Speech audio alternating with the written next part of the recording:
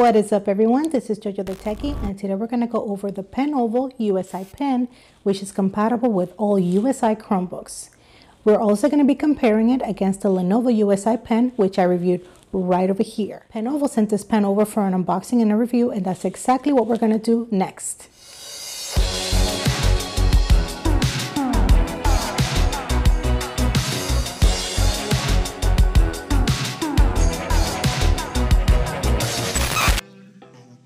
The Penoval USI pen has a matte metal finish with a metal clip. Penoval promises 4096 levels of pressure, no Bluetooth required, and 300 days of use time.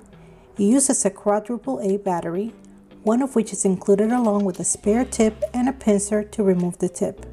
There is also no power button. The diameter of the pen tip is only 1.5 millimeters. Remove it counterclockwise and install it clockwise using the included pincer. It also promises a palm rejection function with Chrome OS, which works as long as the tip of the pencil is resting on the Chromebook before you rest your palm on it. Starting to remove the items from the box, first up is the quadruple A battery.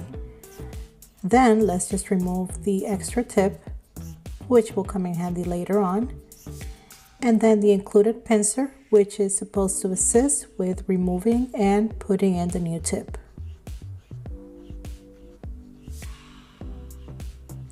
And here is the pen. Very nice matte metal finish with a clip and the USI logo clearly visible. Unscrew the cap and this way you can actually include the battery. Be careful not to remove the spring which will make contact with the battery.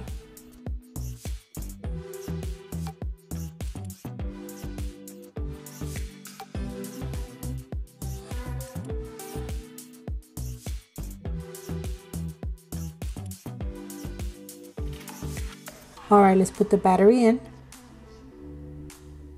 Screw the cap back on.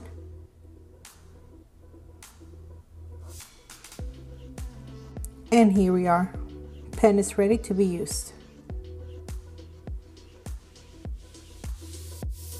Okay, let's put the pen to the test with some sketch and writing apps. First up, let's try Autodesk Sketchbook.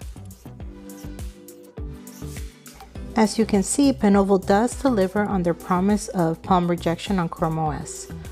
All you have to make sure to do is to put the tip on the Chromebook before you set down your palm.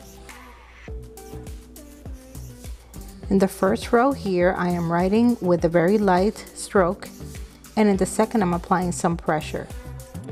Now let's try with a different pen size.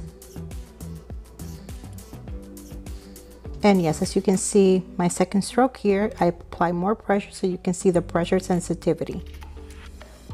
Next up, let's try Google Keep. Now, Google Keep is not an application that supports pressure sensitivity, so pretty much all the strokes are made look the same. That is not a reflection of the Penoval pen, but of the application itself. Next, let's try Microsoft OneNote. This app does support pressure sensitivity, and as you can see here, when I write and I um, push the pen further down, you can see that the stroke is thicker. Lastly, let's go ahead and try Squid, which is my favorite note-taking app. And let's just start with a normal stroke here. And as I push my pen down with more pressure, you can see that the stroke gets thicker. So this pen does have pressure sensitivity as promised. If I had to compare this pen to the Lenovo USI pen, I would say that what sets it apart the most is the quality of the construction. This pen feels more sturdy in the hand it has a more metal feel to it. Even though the Lenovo USI pen is also metal, it does feel kind of flimsy. The top part is kind of plasticky.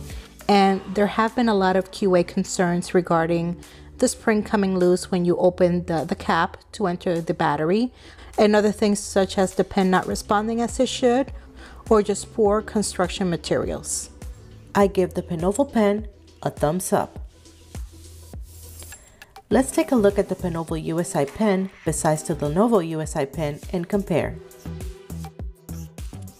The Lenovo pen is slightly smaller, coming in at 5.4 inches as opposed to the 5.5 from the Penoval USI pen. As this comparison chart shows, the biggest difference between the two pens are the pen tip diameter, the weight, and the price.